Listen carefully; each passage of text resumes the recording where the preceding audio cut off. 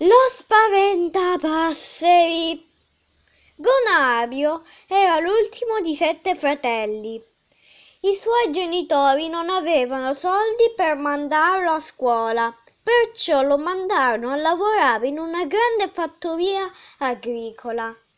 Gonario doveva fare lo spaventapasseri per tenere lontani gli uccelli dai campi. Ogni mattina gli davano un cartoccio di polvere da sparo e i campi e di tratto in tratto si fermava e dava fuoco a un pizzico di polvere. L'esplosione spaventava gli uccelli che fuggivano, temendo i cacciatori.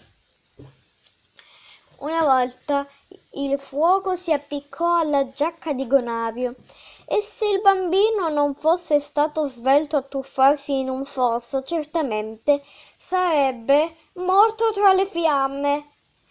Il suo tuffo spaventò le rane, che fuggirono con clamore, e il loro clamore spaventò i grilli e le cicale, che smisero per un attimo di cantare ma il più spaventato di tutti era lui, Gonario, e piangeva tutto solo in riva al fosso.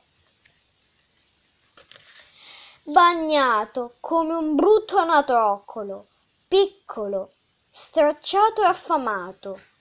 Piangeva così disperamente che i passeri si fermarono su un albero a guardarlo e pigolavano di compassione per consolarlo.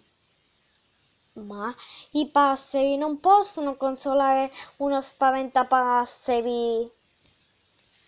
Questa storia è accaduta in Sardegna. Fine, ventiseiesima parte.